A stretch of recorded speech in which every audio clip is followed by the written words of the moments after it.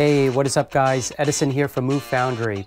This is the first tutorial video that I'm publishing um, for a series of uh, Final Cut 10 shortcut key tutorials.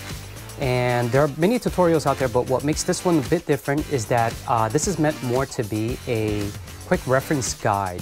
So what I mean by that is if there's a particular function that you're looking for and you want to find it very quickly, all you got to do is search for that function down in the description box below and there's a corresponding time code that you can click and then um, you can jump to that particular part of my video. Okay, with that said, I hope uh, you enjoy. Thanks.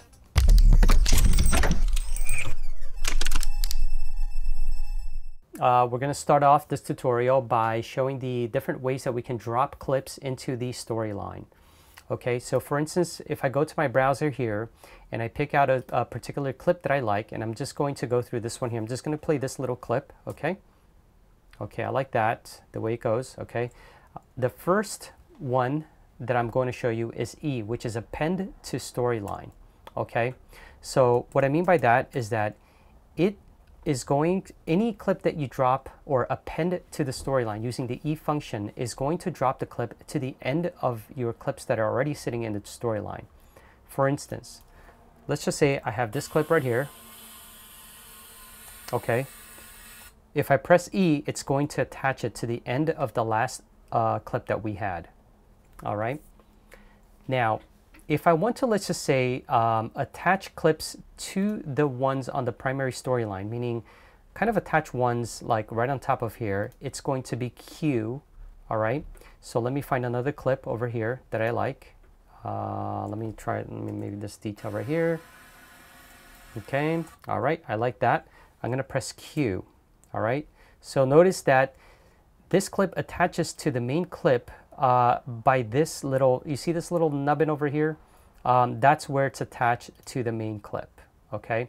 Now, if you would like to attach the clip um, to the left of the playhead, it's Shift Q, all right? So let me find another clip that I like over here. Okay, let me just say, oh, I like this one here with the glistening powder. All right, I'm gonna press Shift Q and notice that it, it, base, it attaches it to the left of the playhead. Okay? Now, I want to splice this particular clip into two parts while inserting another clip in between. It's a non-destructive but um, method, but it's going to cut this clip in half, okay?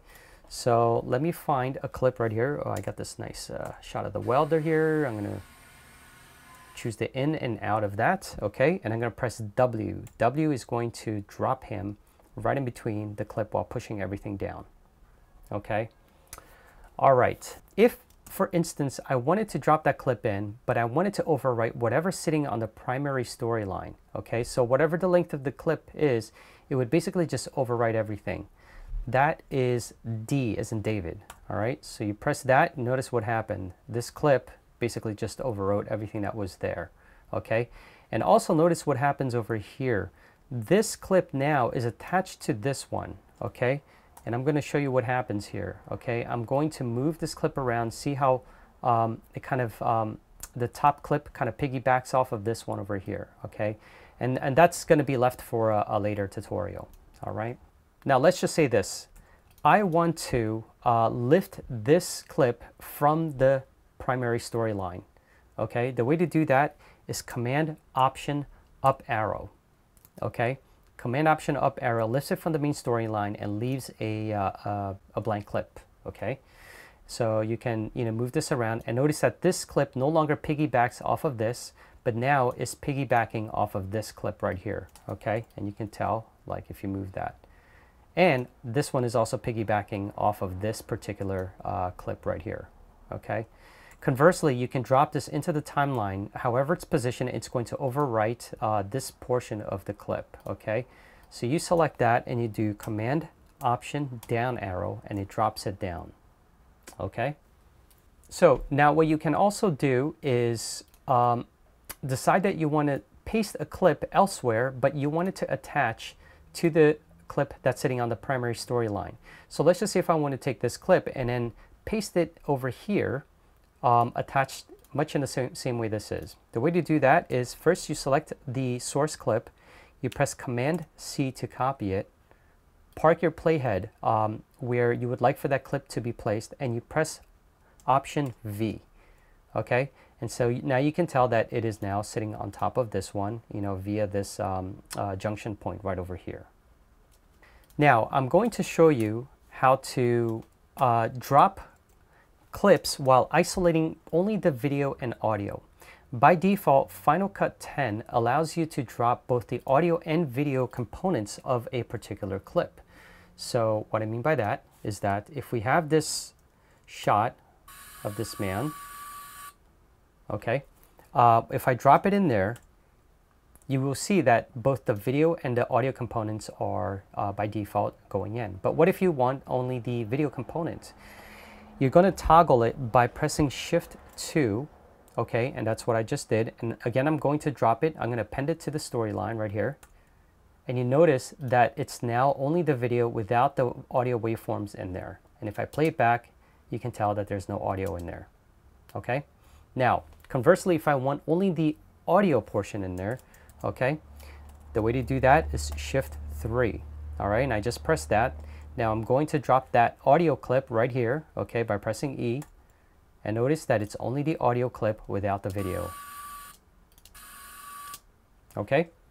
Now I can go back to my default of both dropping both the audio and video clips by pressing Shift 1. And again, now you see both the audio and video clips in there. Okay? Now, the final thing on this tutorial that I'd like, I'd like to show you is um, replacing a particular clip. So let's just say if you have a couple of clips in there, okay, and I'm just going to add, let's just say three clips, okay, and I want to I want to decide to replace this clip uh, with uh, let's just say this uh, sh cool shot of the powder here, just kind of slowly falling in on that um, um, aluminum dish. All right. Okay, so I've already I've uh, marked the in and the out of this particular clip, and I want to replace this clip, okay, with the new clip.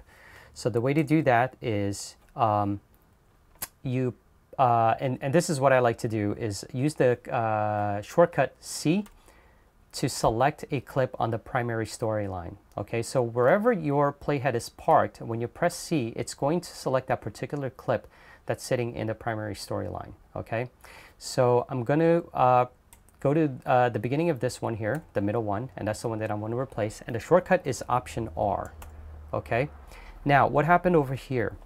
With Option R, you're going to maintain the uh, length of the original clip, meaning the the uh, the new clip is going to stretch or shorten uh, in order to fit the length of the old clip. Okay. Now, what if I wanted to force uh, the predefined length of this clip into this one here? That would be Shift R, okay? And as you can see, this is considerably uh, longer um, and it's been added to, you know, this uh, storyline right here. Okay, all right guys, that's it. I hope you enjoyed your uh, tutorial. Hey guys, thanks for watching this video. Um, if you have any comments or if you think that I missed any particular shortcut keys that are uh, helpful and relevant to this particular tutorial, let me know in the comments below. Thanks.